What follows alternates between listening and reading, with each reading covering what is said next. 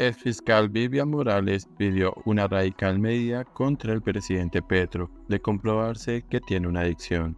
Debe ser destituido. La exfuncionaria reveló que organismo debería avanzar en ese proceso por incapacidad absoluta.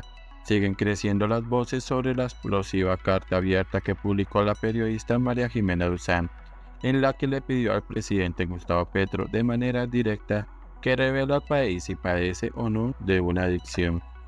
En esta ocasión se conoció una radical postura de la fiscal general Vivian Morales, quien lanzó una contundente petición al Congreso de la República de confirmarse que el mandatario colombiano está con una adicción debe ser destituido, sentenció.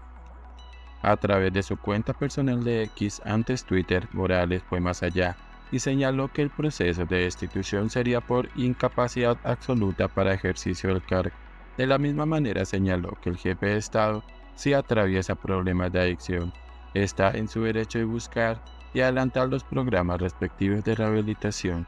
Si como dice María Jimena Duzán, Gustavo Petro tiene tan grave problema de adicción, está en todo el derecho de buscar rehabilitarse, pero el Congreso a su vez tiene el deber de destituirlo por incapacidad absoluta para el ejercicio del cargo.